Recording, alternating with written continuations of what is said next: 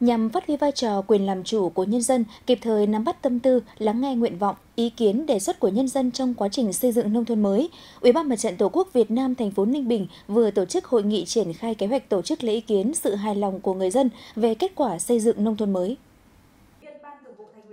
Tại hội nghị, các đại biểu được nghe quán triệt mục đích, ý nghĩa, yêu cầu việc lấy ý kiến đánh giá sự hài lòng của người dân về kết quả xây dựng nông thôn mới, hướng dẫn quy trình, cách thức tiến hành và tổng hợp đánh giá kết quả lấy ý kiến. Theo đó, việc phát phiếu lấy ý kiến nhân dân được thực hiện ít nhất đối với 60% số hộ gia đình trên địa bàn thành phố. Để được công nhận thành phố hoàn thành nhiệm vụ xây dựng nông thôn mới, phải có trên 80% số hộ được lấy ý kiến hài lòng ở 10 câu hỏi đầu tiên liên quan đến công tác quy hoạch, phát triển kết cấu hạ tầng nông thôn, phát triển kinh tế xã hội, tình hình đảm bảo an ninh trật tự, xây dựng hệ thống chính trị, cải cách thủ tục hành chính, đồng thời phải đạt trên 90% số hộ được lấy ý kiến hài lòng ở câu 11 về nội dung kết quả xây dựng nông thôn mới trên địa bàn thành phố